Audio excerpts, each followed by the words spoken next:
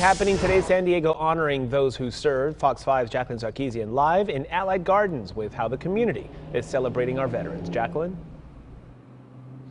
Hi, good morning. You know, San Diego take, takes a lot of pride in being a military town. We know so many veterans live in San Diego all throughout the county. So today we are doing a number of events, previewing a number of events to say thank you and to honor them. Raul, we've been talking about free gas for veterans at one of the ARCO stations where I'm located, Allied Gardens, like you said. And joining me, I actually found a couple of veterans who are already here bright and early. The free gas doesn't start until 7 o'clock this morning, but we've got Joe and Ozzy with us. Come in, gentlemen. Come join us.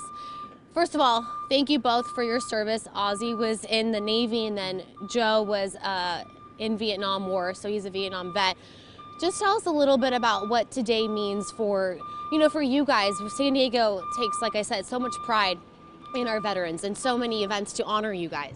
Well, thank you for Fox 5 for your interview. Um, to me, it's a blessing uh, that to help the veterans, um, you know, get some sort of uh, benefits in return down here to get free gas. I know the way the gas situation is and the price uh, has escalated. It's a, it's a blessing for us veterans to get free gas. Yeah, gas is so expensive these yes, days. Yes, it is. Yes, it is. Now, Ozzy, for you, you're also here very early, so you heard about what was happening. Did you drive far to come to this location?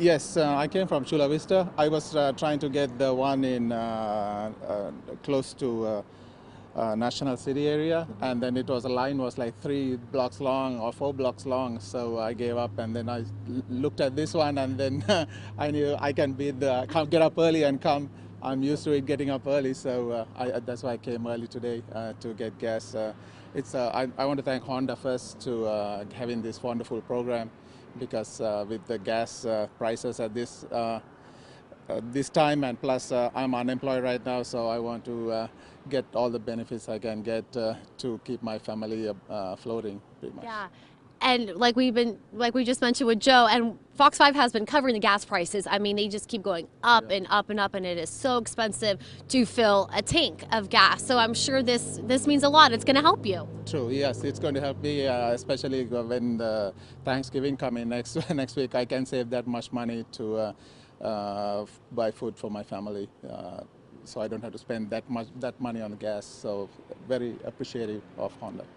Now, what made you to? Are you from San Diego, Joe, or what made you live, uh, you know, move to San Diego? I've lived out here now for over 50 years. I'm originally from, from Guam, but I've lived out here in San Diego, you know, so I'm a native San Diegan. And we know that there are so many military members. Active yes. duty, I just found out, is the largest population living in San Diego County. Yes, it is. Yes, it is. Yeah. All right, so I think it's safe to say you two will definitely get some free gas. Yeah. Doesn't First start until First in line. this morning. yeah. Ro, I have to be honest with you. When I saw a bunch of cars pull up, they were turning their headlights off out of respect for our live shots, and I was I was a little nervous at first. Like, what are these cars doing with their lights off? Because I knew the free gas wasn't until seven o'clock. Yeah. But you know, they're here early to make sure they get that free gas. Here early respectful, you got to love it. That's what it's all about. Jacqueline, thank you so much.